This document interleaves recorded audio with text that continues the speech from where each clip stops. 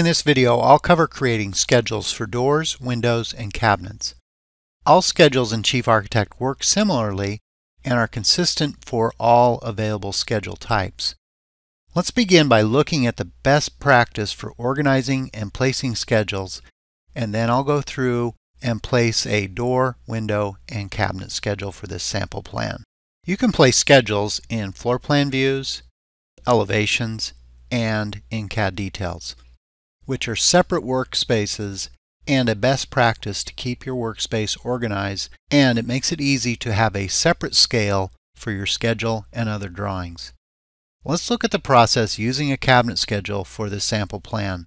You will find schedules underneath the tools menu and you come down to schedules and you'll see the list of available schedules. You can also click in a room, in this case if I click in the bathroom, and there is a tool in your lower edit menu to create a schedule by room. This allows you to choose what type of schedule you'll place. In this case if I place a cabinet schedule, you can then position it Notice when I place this schedule, the Vanity C01, you'll see that listing down here. The nomenclature from the label in the cabinet changed to use the callout label. You can override that by double clicking inside the schedule and over on the label panel is the option to use the callout label in your floor plan view. When I turn that off, you can see as I zoom in, it goes back to using the nomenclature for that particular cabinet. Schedules can also be placed in an elevation view. If I use the wall elevation camera and take an elevation,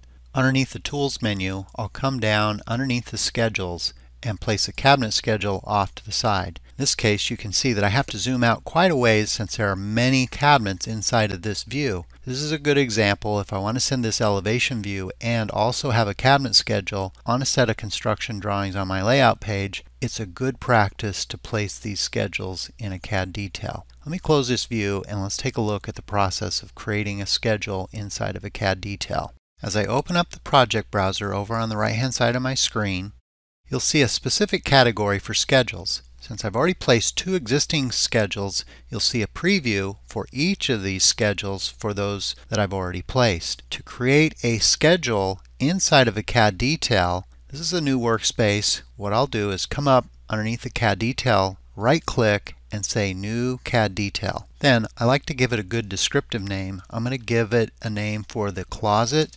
cabinet.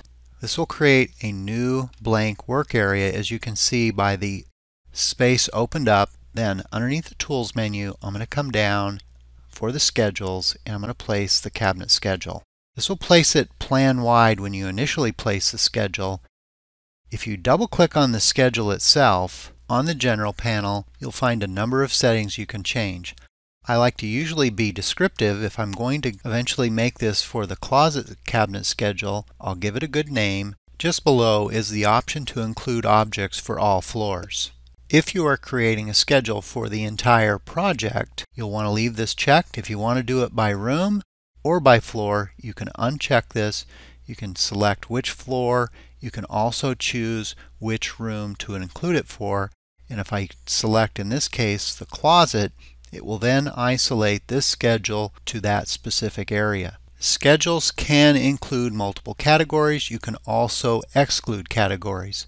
As I expand the area for the cabinet, you can see that it's currently including base cabinets, wall cabinets, full height cabinets, and a few other items that it's not including. If you want to include these items, you can check them. You can also come down and choose additional areas if you want to include other items inside of a schedule and make it a multi-schedule for different categories. Down below in the columns area, there are many columns that you can include and exclude.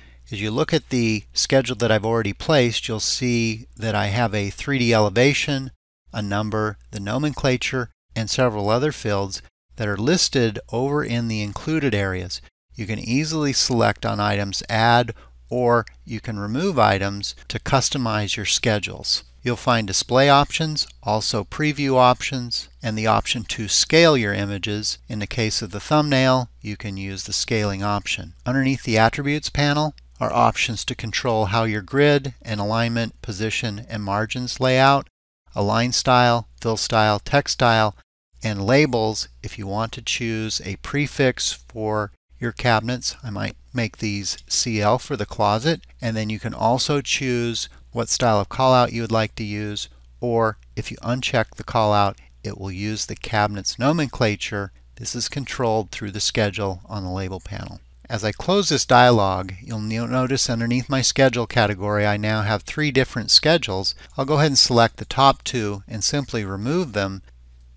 Let's go through the same process by placing a door and then separately a window schedule. I'll do this through the CAD detail in the same steps. I'll right click on the CAD details, I'll say new CAD detail, and in this case we'll begin with Windows. A new workspace is open.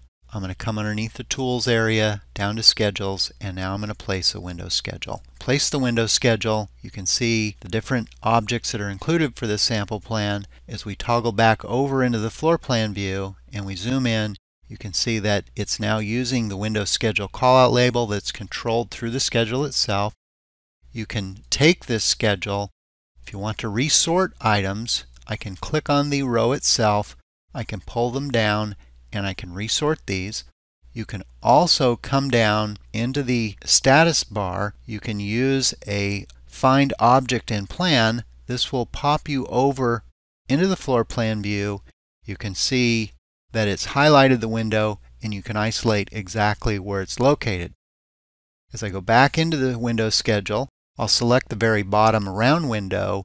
In the lower status bar is an open row object which will open the window specification itself. I can come in here, make any modifications, be a little cautious. It may move the window into a location that you don't want if you start adjusting the sizes.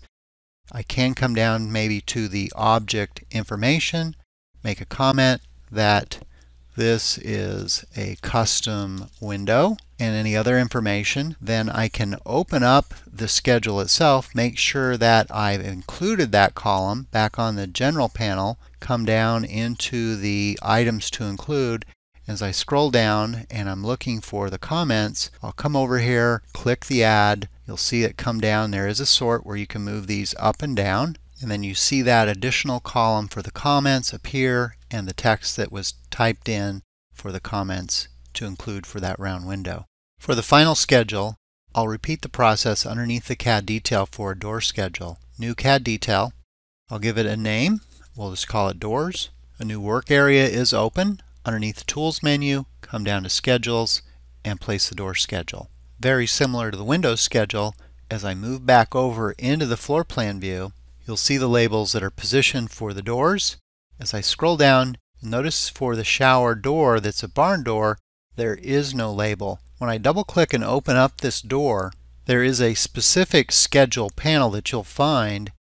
And in this case, I have excluded it to be in the schedule by removing the check mark. You can remove and control which items are included in a schedule. Could also be that you have side lights near an entry door. You want to move that to be included in the schedule as a window. You can come down and make that setting and include it as a window even though it may be a door so you can cross different schedule boundaries depending on what your desires are for your designs.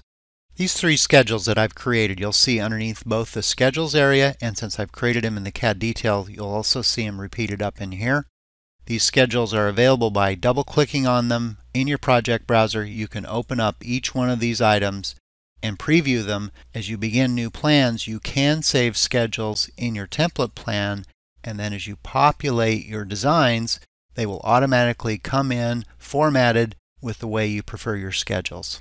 In this sample plan I have open, all the available schedules were first placed in a template plan, and then as the new plan was created, the schedules are then populated and ready to be sent to a layout sheet with all the preferred formatting as you see in a few of the completed layout sheets. Well, that wraps up this video on schedules. To learn more, please see the built-in help file as well as our other videos. Thanks for watching.